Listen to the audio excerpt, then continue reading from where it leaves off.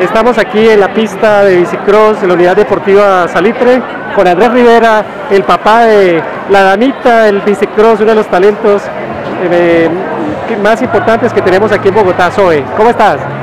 Muy bien, muchas gracias. ¿Cómo has visto la, la competencia el día de hoy, la organización, la logística, los tiempos, etcétera?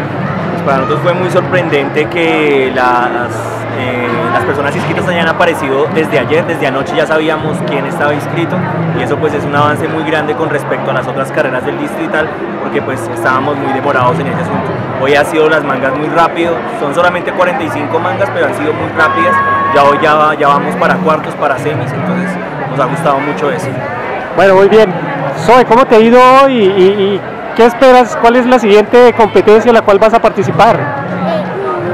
Chile.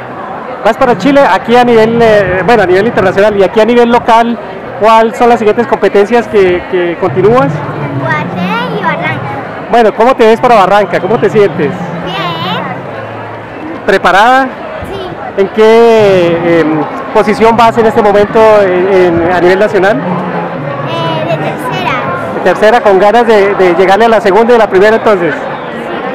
Bueno, saludos a, a, pues Andrés, a su familia, que hace un gran esfuerzo, que ojalá eh, la empresa privada vea estos talentos que tenemos en Colombia para apoyarles. ¿Alguna palabra, Andrés?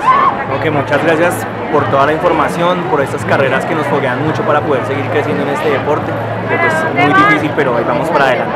Bueno, bien Andrés, adelante con la damita del bicicross que va a dar mucho que dar y está dando mucho que dar en el decir en el bicicross eh, bogotano y nacional. Gracias. Gracias. Chao.